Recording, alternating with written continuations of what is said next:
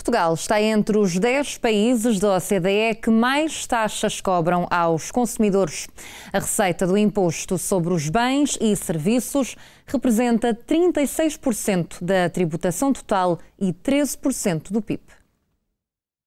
Portugal está entre os 38 países da Organização para a Cooperação e Desenvolvimento Económico que mais taxam o consumidor final.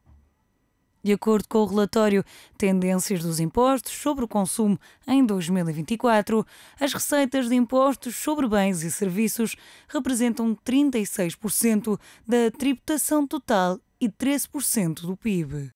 Portugal surge em sexto lugar em relação ao maior peso da receita de taxas sobre o consumo no total dos impostos, de 36%. O Chile surge em primeiro lugar com 44,6%, seguindo-se a Colômbia com 44% e a Turquia com 42,8%. No que toca à receita de impostos sobre o consumo em percentagem do PIB, a economia nacional está na quarta posição do ranking com 13%.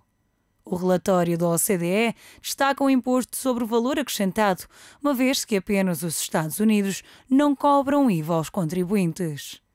Segundo a proposta do Orçamento do Estado, no próximo ano a cobrança do IVA em Portugal deverá representar 40,5%. O Estado espera arrecadar 25,6 mil milhões de euros só com este imposto, o que corresponde a uma subida de 6,4% face a este ano. Já quanto ao peso da receita de IVA sobre o PIB, Portugal surge com 9,4%, sendo o quarto país que mais encaixa com este imposto.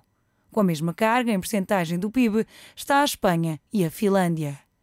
Atualmente, a taxa máxima de IVA em Portugal é de 23%, tendo registado uma subida de 4 pontos percentuais desde que o imposto foi implementado em 1986, com uma taxa de 19%. No entanto, há ainda duas taxas reduzidas de 13% e de 6%.